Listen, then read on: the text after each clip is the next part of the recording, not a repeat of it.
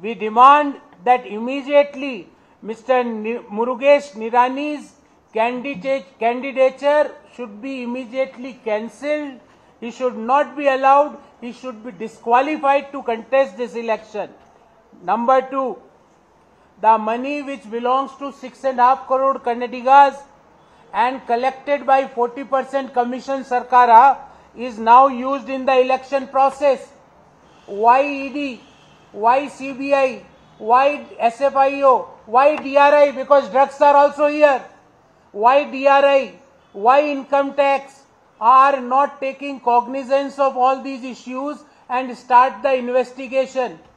Is ED CBI doesn't know the flight connections from Delhi to Bangalore? If they are not aware, we are ready to book their flights also. We will let them know what was the flight connection from Delhi to Bangalore.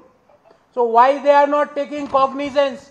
Still election is 16 days ahead. Still now, till 21st of April, 253 crore rupees of gold, silver, alcohol, drugs, uh, freebies, cash.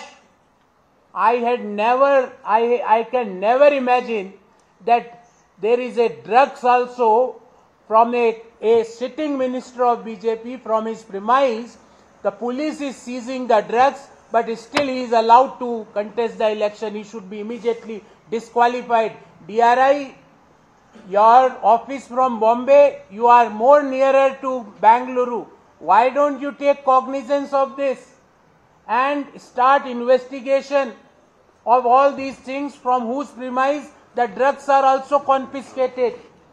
We want that for BJP now CM means corrupt more. Corruption more is the full form of BJP and that is indicated by this news of 2021 where one minister who is facing corruption charges is promoting the other super corrupt to be CM.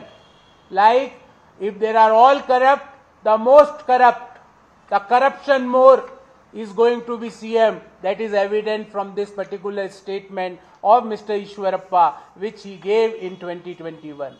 So, friends, enough is enough.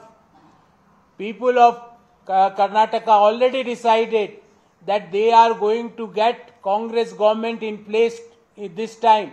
But I am surprised that after model code of conduct also people are involved in corrupt practices and none other than the sitting BJP ministers holding portfolios like small and large and medium scale industries.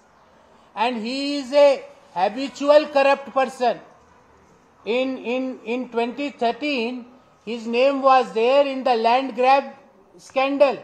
So he is a habitual corrupt not only from his premise gold silver money cash freebies but drugs are also seized election commission should immediately disqualify such a person to contest the mla election now for bjp I can say that Karnataka had decided that Karnataka के लोग बोले बार बार अब की अब की बार नहीं चाहिए भ्रष्ट भाजपा सरकार people of Karnataka are saying again and again that we don't require this 40% corrupt government which is involved in all sort of corruptions. So that's all from my side. I am open for questions if you have any. First of all on this subject and thereafter we will take other issues.